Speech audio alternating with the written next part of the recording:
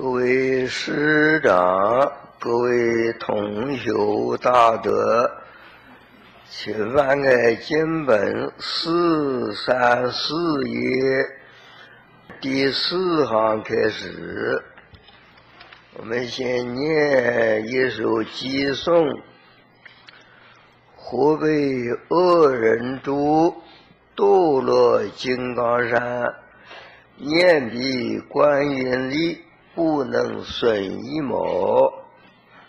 我们从这开始，这个接送有总答，有分别的别答。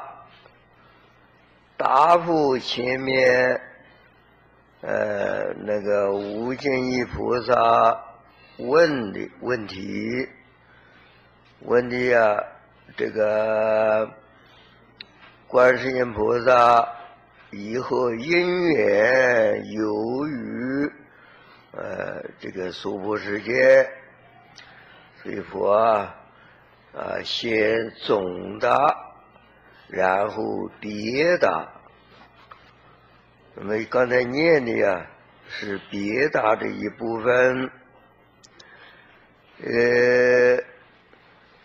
这念的这一部分呢，是前面讲啊，有的这个火坑，呃，有这个水难，有的是啊，堕落在须弥山，在须弥山峰被人家推堕下来，这个都是。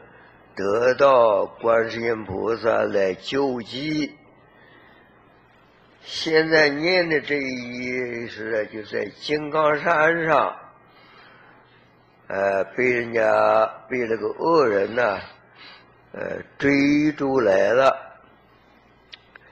金刚山比这个须弥山呢，范围又又大了。须弥山那那个山峰啊，是在一个小世界，一个须弥山。这个金刚山呢，三千大千世界的那个须弥山，四周有金刚，呃，所以这范围就大了。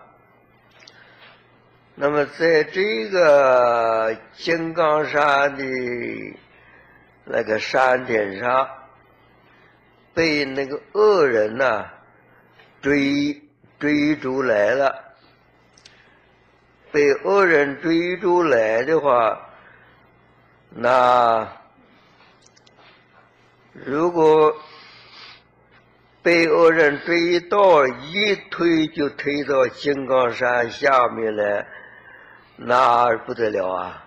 那这个灾难太大了，所以在这时候念彼观音力，就在恶人在正在追还没追到的时候，能够啊知道，呃念观世音菩萨，念观音菩萨力是什么呢？前面讲过啊。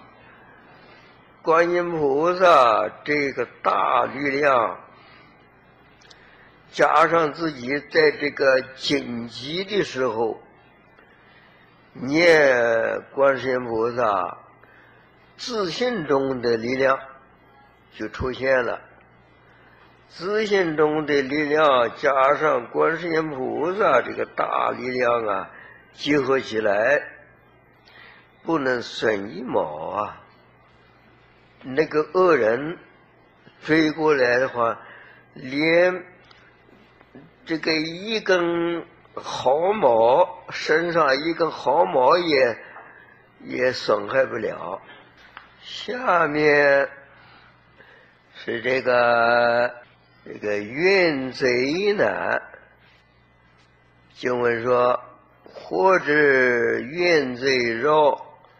各自都加害，念彼观音力，先及其次性，或者知缘在说，知就是遇到了，遇到这个缘是过去跟有了缘的，所以一般叫冤家。贼呢是害的意思，贼害。遇到冤家了，要这个来找这个这个要责害你，责害是绕啊，绕就是快要这个呃追到了，围绕在这个这个被害人的身边了。各自都加害，这个冤家不止一个人，一个冤家好容易逃走了，这个冤家很多，在周呃围绕在在这个被害人的呃身边，每一位这个冤家。各自刀加害，都手里拿着这个刀，要加害这个被害人。被害人在这个时候啊，念必观音力，只要一念感觉这个危急的这个状况啊，他马上就是。念观音菩萨，念观音菩萨这个力也跟前面讲的，观音菩萨这个力加上自心中的求救的这个力，这个求救这个力啊，这个力是也不可思议的。那么，这是真发出真诚心来求救的，跟观世音菩萨这个力量结合起来。先及其次性啊，先知的那么多的冤家，那么多冤家本来是每一个冤家都是拿这个刀来要害了，要加害了。这个时候，被害人。念观音菩萨力加上自己的力量，那么这样就感感化了那个冤家，那些冤家，冤家是显呐，所有的冤家及其慈心，把原来是怨心呐，怨恨之心。把怨恨之心都转化为慈心啊！怨恨心一转，转慈心好了，那就跟前面讲不能损一毛啊，那个害加害就就消失掉了。这一条经文是讲冤家。我们学了这这一首偈的时候，应用在我们啊日常这个修修行上面。日常修行上面要知道啊，虽然我们一想，我们这一生没有跟任何人结怨呐。但是我们每一个众生啊，多生多劫以来，讲到开始无始，从无始劫以来就有我们这个众生啊，这么长久的时间，你说没有跟人结缘，那不合理啊。总是过去是跟人家结怨。大的怨，小的怨多得很。像这些我在今生呢，因缘成熟了，随时都可以遇到这个这些冤家。这些冤家，在这个经文里面讲是各自刀加害啊，刀是一种杀人的这个工具啊，刀是做代表。一切害人的、杀人的工具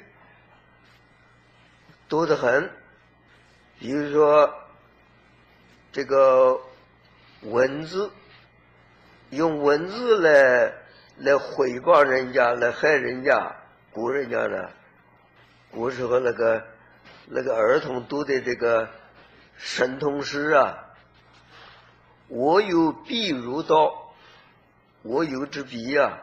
我这笔就跟刀一样的，那个写文字要以文字害人呢，就是这文字就是刀啊。用言语，用言语来害人家，言语厉害的很。言语说受到伤害重了，可以置人于死地。所以往往有人讲这个言语啊，唇枪舌剑呐。嘴唇就是像枪一样的，舌就是跟那个剑一样的，这都是杀人的武器啊。类似这个多得很，所以我们这个读了这一首偈的时候，我想一想，随时都可以遇到啊，过去跟我们结怨的这些冤家，他来报复，报复。用种种的这个啊工具，那么我们读了这一首偈之后啊，不怕他们用哪一种工具，我们当下念观世音菩萨，呃，不管你发出声音也好，不发出声音也好，心里起了一念，求观世音菩萨来化解。这个求观世音菩萨化解这一念，就自信中的力量。观音菩萨那种力量跟自信中力量合起来，就能够使我们经常可以遇到那些那些冤家了，把它转化为慈心呐。你看这个重要不重要呢？把它化成慈心，对那些冤家就是度化他们。怨恨心是一种，是一种的烦恼。把它怨恨心化为慈心，他就能得度的。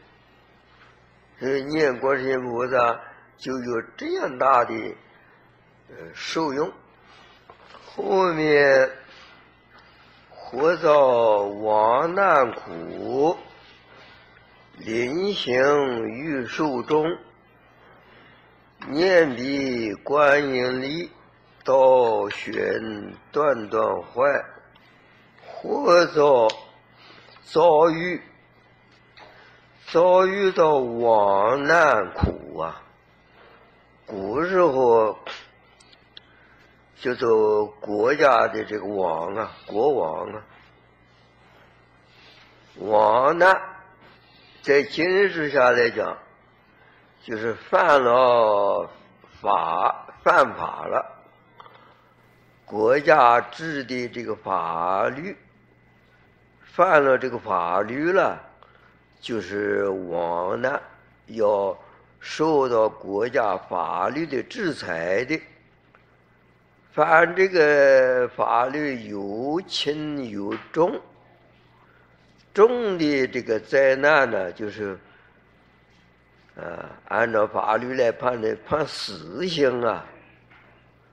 所以下面是临刑欲受终，面临到要执行死刑的时候，预受终欲啊。那个死刑还没有执行啊，啊，将要要执行了，于执行呢当然寿终了。这个时候，念彼观音力，道寻断断坏。这个遭到亡难要执行死刑的时候，这个人呢，他知道念观音菩萨，一是得到观音菩萨这个大能力。自己在求救的这一颗诚心，那执行实行的这个这个刀啊，当时当时古时候叫做这个刽子手啊，刽子手手里拿这个刀啊，旋旋就很快，就是甚至于。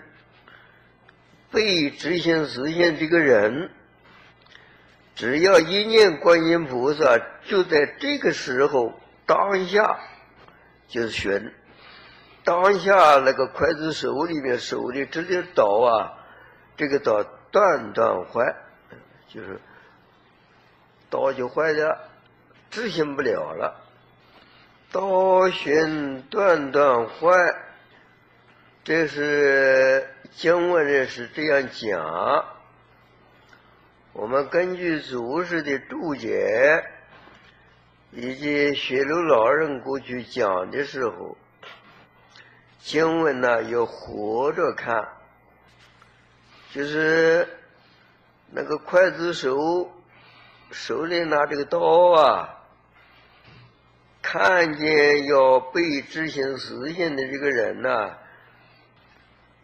他在念观世音菩萨，不管是有声音，或者在心里念没有声音，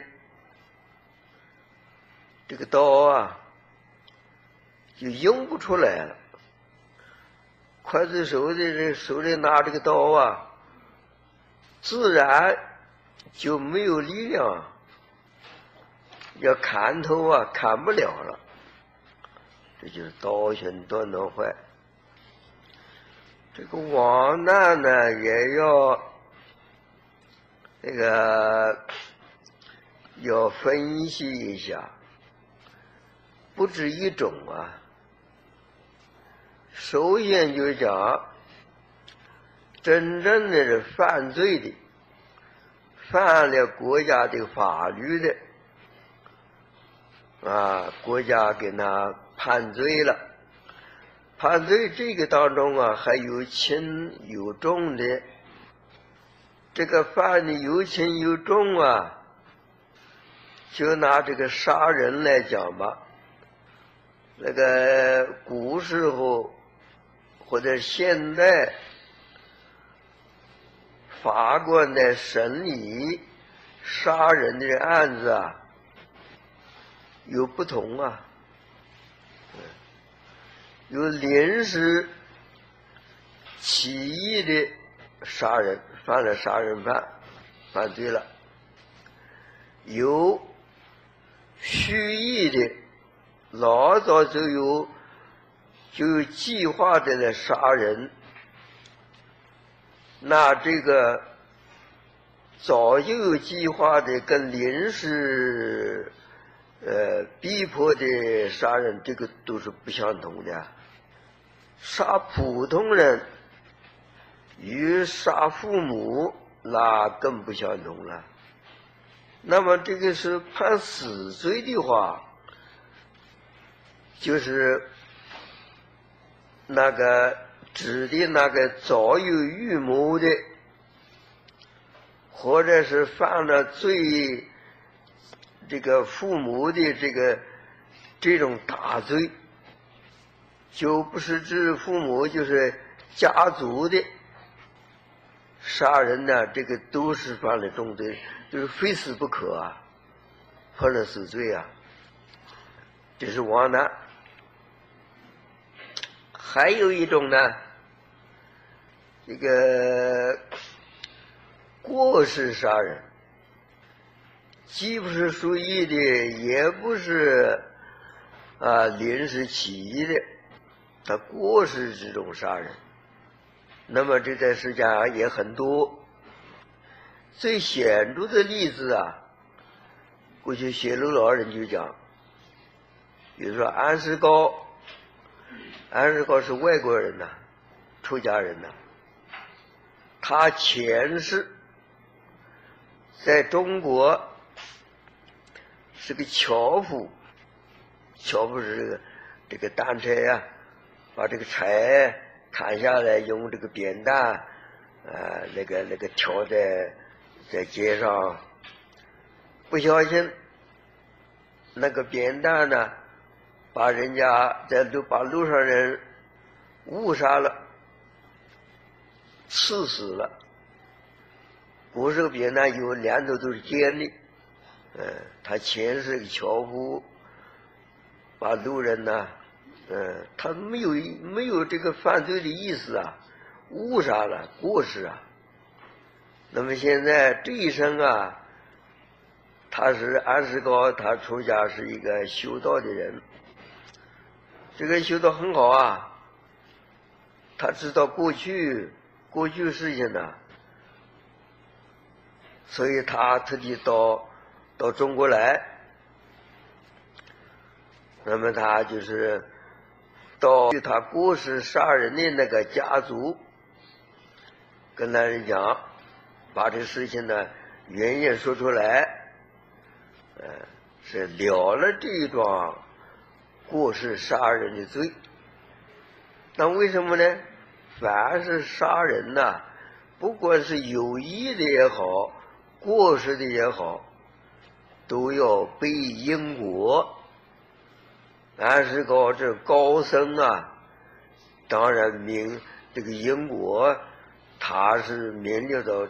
透彻，所以到中国到中国来，把过去这个无呃无意的杀人这桩案子啊，把它化解掉，这又是一种。还有一种呢，冤狱，冤狱像过去的岳飞。他有什么罪过啊？他被秦桧把他害死了，这是说起来也是王难呢。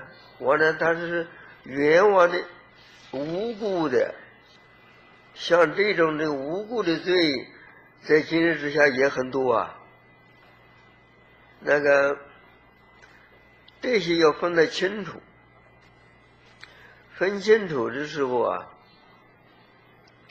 这个不管是哪一种的，被判死刑，在面临要执行死刑的时候，他要知道念观世音菩萨，死刑都可以避免。可惜岳飞呀，那个时候没有学佛啊，他更没有。来研读观世音菩萨普门品的，他不知道念观音菩萨，嗯，这很可惜呀。其余的一切，啊，假使岳飞当时能够念观音菩萨，这个缘，嗯，这种缘遇就是可以避免的。那么这样说起来。无论是有意的犯罪、无意的过失杀人，或者是啊无辜的受人家的陷害，只要念观世音菩萨名号，都能化解，都能化解。这一其中有一个最重要的一个啊一个意义啊，要了解。学楼老人讲啊，在念观世音菩萨的时候啊，忏悔，忏悔重要啊，就是无心的杀人、过失杀人，灭了因果的话，也有，哎，自己也有过失啊。这个时候就要忏悔。如果真正是犯罪的，真正犯了法要判死刑的话，更要忏悔。这一忏悔呀，心境、心理的境界就转变，绝对不可以。啊，他现在关在关在监狱里面，这个知道什么时候要执行死刑了，他要念他念观音菩萨，念观音菩萨不知道忏悔，他想啊，在执行死刑的时候，一念观音菩萨，观音菩萨解救，然后出来呀，再报复人家，好了。有这一种报复人家的念头啊，得不到观音菩萨感应啊。能够得观音菩萨感应的话，自己心里有转变的，把这报复人家这个心理呀，完全把它呃放下，不要报复人家，要忏悔。这一忏悔。绝对不要想那个回来对付那个嗯那个加害他的人，这才有有效啊，才能得到观世音菩萨呃那个来来来救他。所以说，道玄断断坏呀，这个当中仔细分析起来。有这些种种的情况，这些种种的情况不不分析的话，那么我们一般学的这这首节子啊，不能说没有受用，但是受用啊有限的，必须分析了前面所讲的，这讲都是祖师讲的。我们老师学路老人所讲的这个重要，把它指点出来，这才能真正得到观世音菩萨感应，这个才是真正的能够得到道玄断断坏。后面是枷锁或囚禁枷锁。手足被处歇，念彼观音力，释然得解脱。囚禁这个囚字里面这个人呢，就表示这个人关在监狱里面，净是啊，不让他出来。枷锁呢？古时候关在监狱里面的人呐，都要上这个枷锁，就是脚上有这个铁链子把这锁住，手上。也这个用这个手铐，这些枷锁，这个手脚镣手手铐啊，这是总的这么讲。像是抽剑呢，抽线呀，用。除了手上这个手稿以外，颈子上面还要用那个用一个那个刑具啊，围在颈子那个那个叫做像那个颈子上面，而且是抽线。这个时候要念观音菩萨。释然的解脱，这读解字不要读谢字。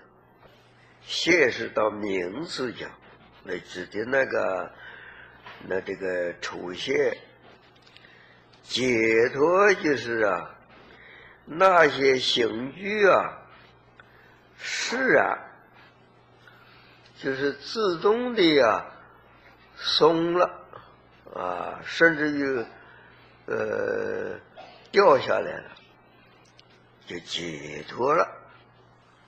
释然的解脱啊，就是有是有形的，有的是无形的。这个是得观世音菩萨感应来救济的时候，有形的呢，那个枷锁，这个线。这个丑线看得出来，就就掉下来了，脱了。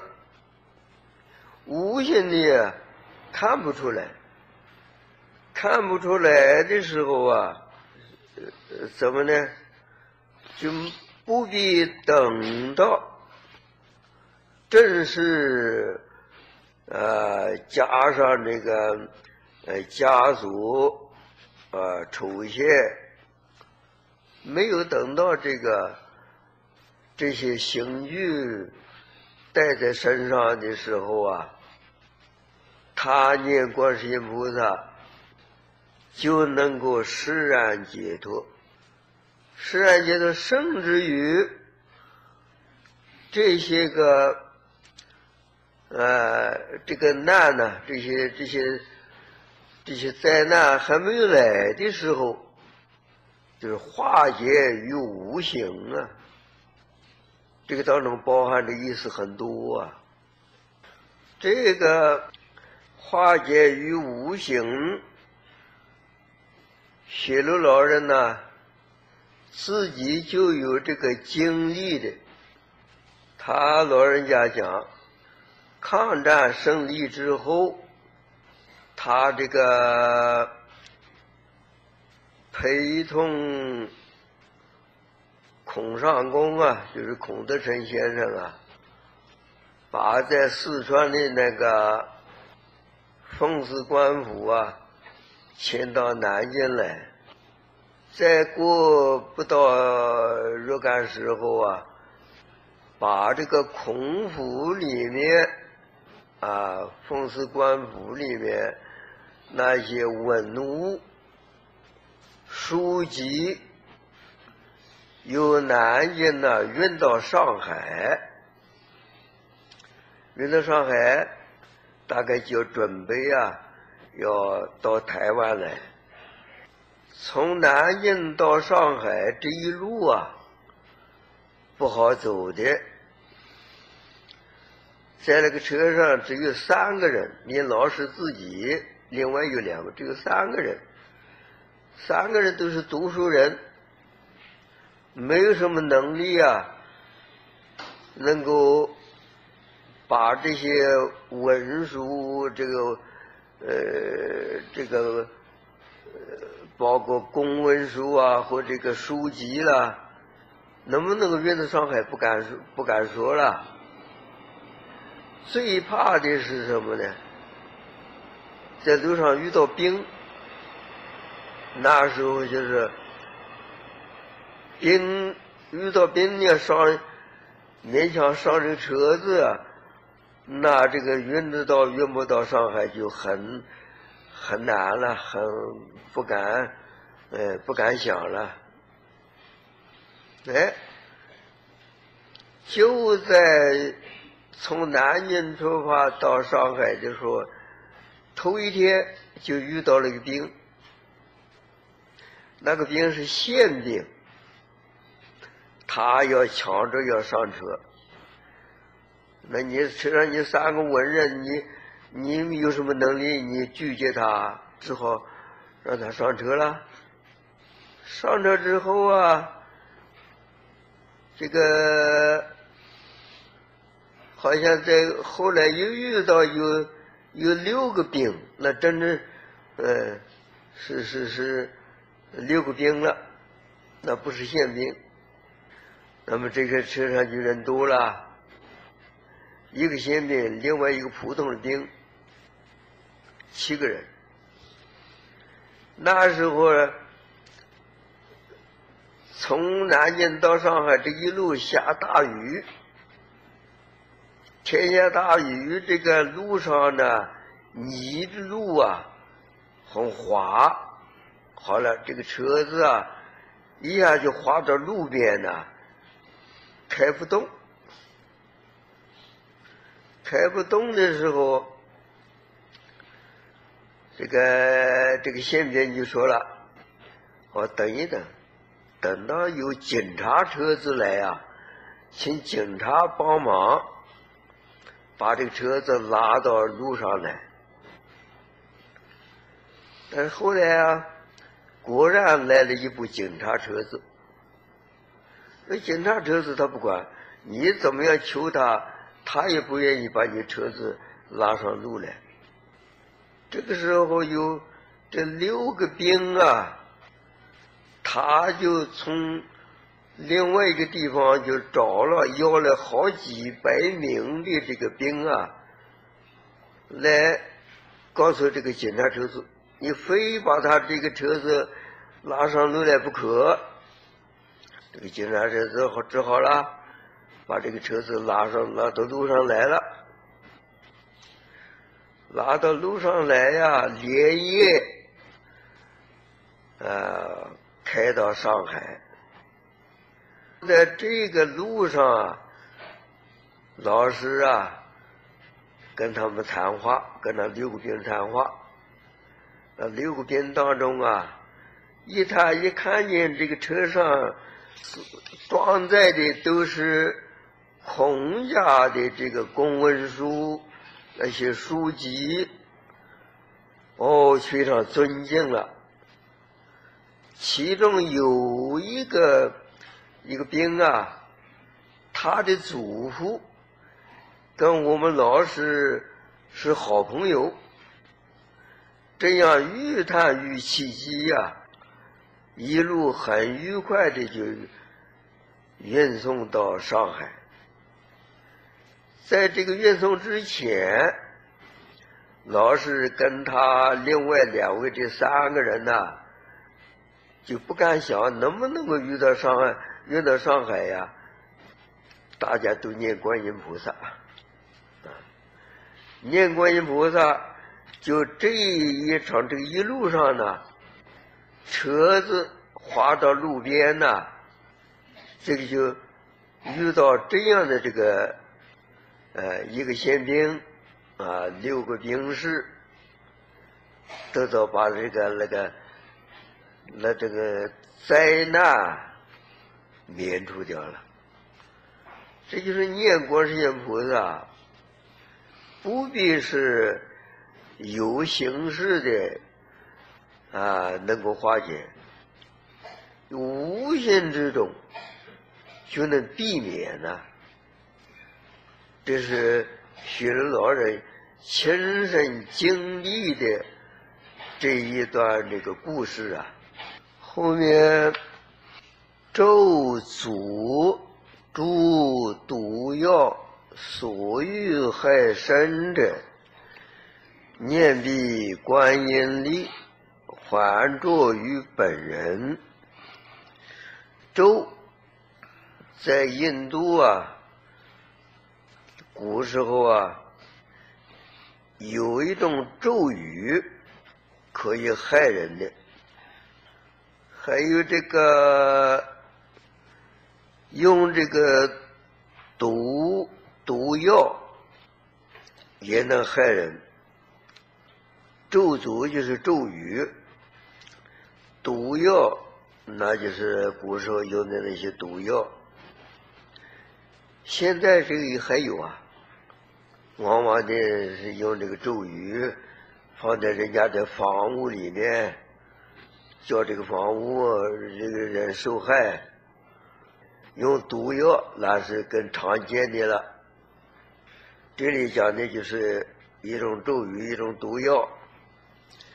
所欲害身者，那些用咒语、用毒药害人的，他想害这个人，害身的就受害的人，所欲啊，他要呃要要把这个咒语和毒药害这个人呐，这个受害的人。念必观音力，他能够知道念观世音菩萨名号，念观音这个得到观音的这个呃这个力量来来化解的话，结果怎么呢？还着于本人呐，还是回他，着是。这种咒语，这种毒药啊，这个害不了这个受害的人，反而害了这个本人。本人就是指的用咒语和毒药害人的那个人。还着于本人，过去啊，宋朝那个苏东坡啊。苏东坡是大文学家，也学佛。他应该说是，呃，对于文字经文，应该懂得很多了。他念到这一首节字啊，读到这个“还著于本人”呐，他感觉到这个不妥当，他要改一改。改一改是改什么呢？咱们就是这个祖师这里注解的，就是就是讲就是会议的这个祖师，就是欧一祖师啊。他讲他讲苏东坡啊，要把这一句改了，把这个还着于本人呢，改为梁家具。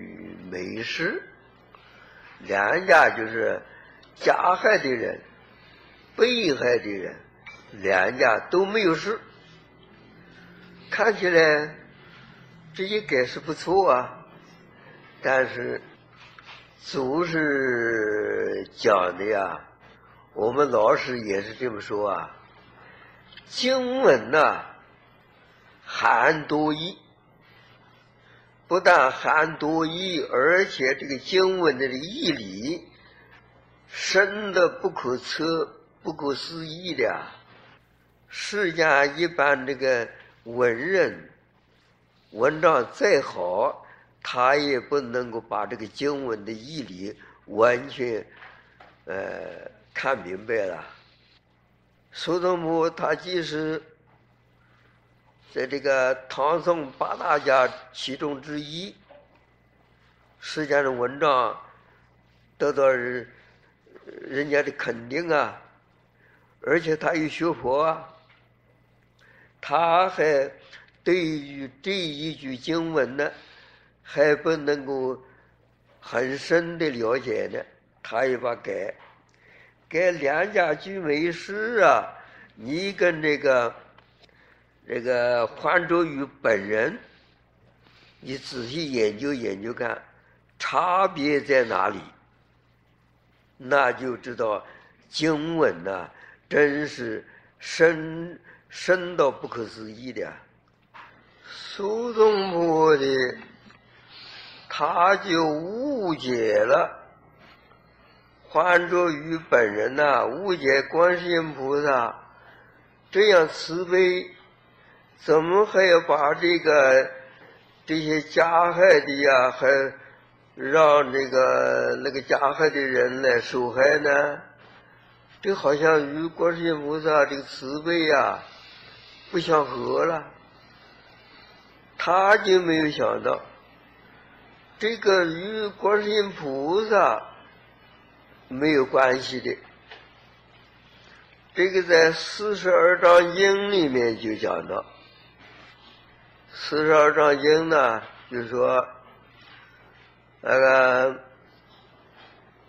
释迦牟尼佛在那有比喻，你想害人呐，这个这个恶人要想害的好人呐，就如同仰吐这个这个头仰过来呀，对天呐来吐吐沫，你吐不上天上，那个天就等于好人呐。吐不知天，欢从几度？那个吐沫还是回过头还嘟到嘟到自己的脸上，这是一个比喻。再一个比喻呢，你把这你想把这个灰尘呐，来撒到那个邪人的这个呃身上去，逆风啊，风往这边吹呀，那个好人在那个那个上面那个前面呢。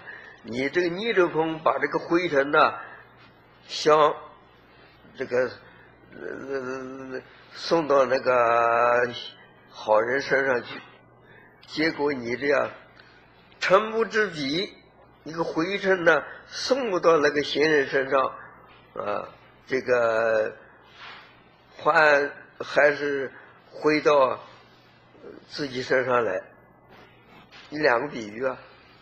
有这两个比喻，就是说，你这个加害于人的人呐，还是自己害了。这个自己还不是观世音菩萨叫他，呃，那害人自害呀，而是造罪恶的人加害人的那个人呐，他自己因果，自己的恶因受了恶果，这是他自己。自作自受的，这样一分析，可见呢，那个苏东坡要改这个句子，改成是完全是他不了解这个经文呐。我们现在一般文人文章跟苏东坡相比呀，天渊之别。学佛跟苏东坡相比也是天渊之别。现在这些文人呐，他把佛经看一看，哦，他随意的来讲解，写文章随意发挥，甚至于。诽谤祖师的注解，你看这种人呢，我们不好说他。我希望我们大家看到那些人的文章，看到那些人的注解经典，不要跟他学就是了。这些人呢，他的著作不值得一看呢，不要跟他们学。我们要是。相信祖师的注解，我们今天就说到这里为止。